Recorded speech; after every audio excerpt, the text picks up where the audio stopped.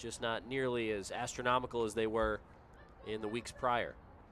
One two pitch. Holliday gets one in the air, right field and deep. Sandal goes back at the track. Wall, that ball's gone. Fire me up, Jackson Holliday. A solo shot here in the bottom of the first, and the Birds are on the board first for the second straight night.